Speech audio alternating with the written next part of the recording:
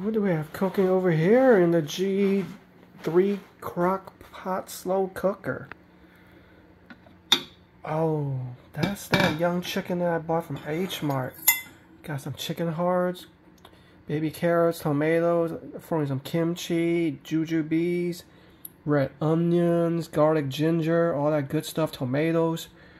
Oh wee, let's see how this turned out. I think I need to break this in half and put it in the other one. What do you guys think? I think this is a little bit too filling right here. Look at that chicken. Ooh, wee. Alright, let's cut into this chicken cut in half. Ooh, wee, that's hot. Half for you. And half for me. I'm gonna cook it longer. It's gonna be a total grab it by the butt. It's gonna be total of four hours. Yeah, that's gonna be delicious eating right there. Crock pot using more of it.